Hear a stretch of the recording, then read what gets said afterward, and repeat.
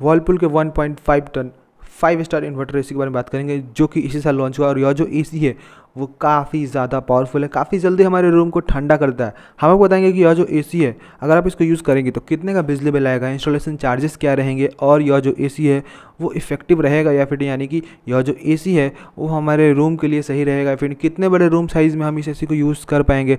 साथ ही में इस एसी का जो मेंटेनेंस है, वो हमें कितना पड़ जाएगा? ये सारी चीज़ हम आपको बताएँगे तो वीडियो को पूरा एंड तक देखते रहिए और एसी के बारे में आपको ए टू जेड जानकारी जो है वो मिल जाएगी। और अगर आप इस एसी को बाई करना चाहते हैं तो यह एसी आपको ऑनलाइन ही काफ़ी सस्ते में मिल जाएगा। इसको बाई करने के लिए इस वीडियो के डिस्क्रिप्शन को आप ओपन करेंगे। वीडियो का डिस्क्रिप्शन ओपन करने के लिए वीडियो के टाइटल पे आप क्लिक करेंगे, वहाँ पे आपको लिंक मिल जाएगा। उस पर क्लिक करके देन आप इस एसी को ऑर्डर कर सकते हैं अमेज़ोन से। तो चलिए अब वीडियो में आगे बढ़ते हैं। हमने कुछ फ़ोटोज़ क्लिक कर लिया आपको दिखाते हैं और एसी के बारे में सारी चीज़ें हम डिटेल में बताते हैं। यह जो वर्लपुल का 1.5 टन फाइव स्टार का एसी है, इस एसी को आप लगभग 170 स्क्वायर फीट तक के रूम साइज़ में आप इस एसी को यूज़ कर सकते हैं। साथ ही में यह जो एसी है, अगर आपके आउटसाइड में 52 डिग्री सेल्सियस तक का भी टेम्परेचर है तो भी यह एसी काफ़ी अच्छे से उस एरिया में वर्क कर जाएगा। हम आपको इसके इंस्टॉलेशन के बारे में बात करें तो यहाँ पे इंस्टॉलेशन चार्जेस जो है वो लगभग पंद्रह सौ रुपये के आसपास लग जाते हैं। और बॉक्स के अंदर में आपको कनेक्टिंग पाइप भी देखने को मिलता है। कॉपर का वो तीन मीटर का होता है। अगर कॉपर का जो पाइप है, अगर वो थोड़ा सा ज़्यादा लगेगा तो उस पाइप की कॉस्टिंग आपको थोड़ी सी बढ़ जाएगी, जो कि पाँच सौ हज़ार रुपये और भी ज़्यादा लग सकते हैं, क्योंकि कॉपर का पाइप जो है वो थोड़ा महँगा आता है। तो कुछ इस तरह से लगभग आप मान के चले कि दो हज़ार में जो है ना आपका इंस्टॉलेशन जो है वो हो जाएगा एसी का। इंस्टॉलेशन चार्जेस जो है वो फिफ्टीन हंड्रेड रुपीज़ के आसपास है और पाइप तीन मीटर का दिया हुआ है। तीन मीटर का पाइप में अगर आपका काम हो जाता है इंडोर से आउटडोर यूनिट कनेक्ट हो जाती है मतलब अगर आप ज़्यादा दूर नहीं रखते उस दोनों चीज़ों को तो हो तो जाएगा। लेकिन अगर ज़्यादा लगता है तो आपको एक्स्ट्रा जो है वो थोड़े बहुत पैसे लग सकते जो कि बहुत ही मिनिमल है, बहुत ही कम है।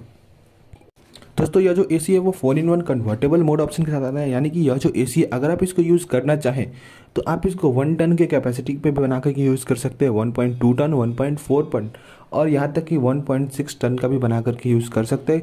कन्वर्टेबल मोड का ऑप्शन ये होता है क्योंकि आप इससे इस एसी की कैपेसिटी को कम या ज़्यादा कर पाते हैं, जिससे कि आपका बिजली बिल भी कम या ज़्यादा होता है। हम आपको बता दें कि अगर आप इस एसी को यूज़ करेंगे तो आपका लगभग महीने का जो बिजली बिल है वो हज़ार से बारह सौ रुपये के बीच में आपका बिजली बिल देखने को मिलेगा। एक हज़ार से बारह सौ रुपये के बीच में अगर आप डेली छः से आठ घंटे इस एसी को यूज़ करते हैं तो।